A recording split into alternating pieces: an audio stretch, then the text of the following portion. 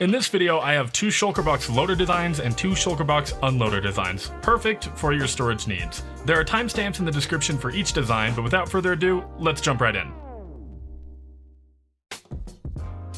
Now this is a more compact version of my original design, which you can find here if you want a design that lets you open the shulkers while they're being loaded. Empty shulker boxes go in here, a bunch of the same item goes in here, and out comes shulker boxes that are completely filled. Here are all the materials you'll need for this design. First, make the output for the shulker box loader. This can lead into a water stream, more hoppers, or just a barrel, for example. Then place a honey block on top of this hopper with a block next to the honey block and a comparator facing away from the honey block on top of that. Note, if you want to use a chest here instead of a barrel, you can replace this block with a top slab. Now, hold shift and place a block in front of this comparator, and then around the back, place a redstone block here with a piece of redstone dust on top of it.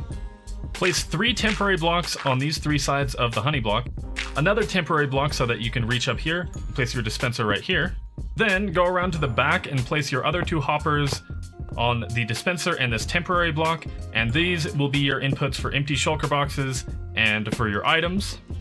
Place a redstone dust on top of this block, and then an observer facing that redstone dust, a piston facing down from that observer, and another observer next to that piston, like so. Finally, come up to the top here, place your other two redstone dust on the observer and the piston, and your redstone repeater set to 4 ticks on this last observer.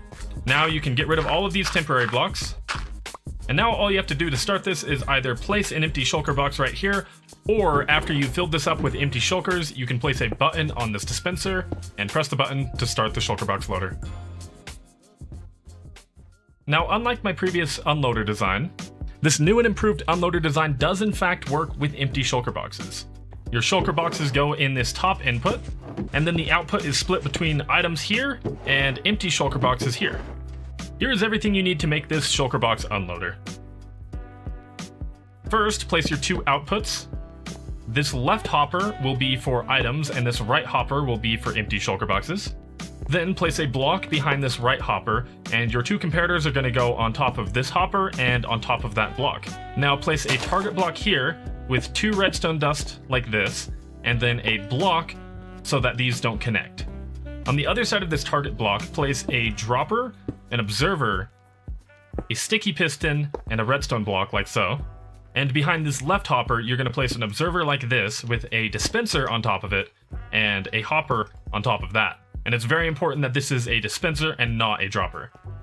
Next to this hopper, place a block, a piston, and another block on top of that. And lastly, come around the back, place an observer facing this hopper, another observer facing that other observer with a redstone dust below that, a sticky piston, and two blocks like so. Now before I show you these next two designs, if you found this video helpful in any way, consider subscribing and turning on the bell so you get notified for future uploads. These next two designs were created by two very talented creators, Borkon and Samos the Sage. I'll leave links to both of their channels in the description, but first, here are the designs. For this one-wide tileable shulker box loader, here is everything that you're going to need. Now you can almost make this just by looking at the side profile, but what might not be apparent is that this is a dropper that leads into a dispenser. So first, you'll want to place your dropper leading into your dispenser. Then place two hoppers leading into that dropper with a barrel, a sticky piston, and an observer facing down.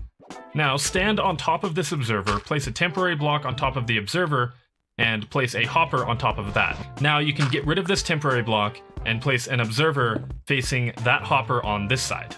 Now for the output, leave a gap here with a barrel right there and a hopper running into it, and place your comparator on top of that hopper. And last, place a block here with a redstone block on the other side of it, your two redstone dust on top of that, and while holding shift, place an observer facing that redstone dust. Once again, like the last design, in order to turn this on, you can either place a button here after you've loaded this with empty shulker boxes and press the button, or you can just place an empty shulker box right here. For the one-wide tileable shulker box unloader, here is everything that you're going to need. First, make your output chest or barrel with a hopper running into that and a hopper facing down below that. this will be for items and this will be for your empty shulker boxes.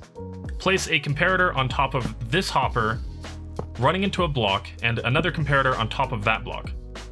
Go on top of this block and place a dropper, an observer, a sticky piston, and a redstone block. Now place a block above this comparator and behind this one by holding shift, and your dispenser facing down next to that block.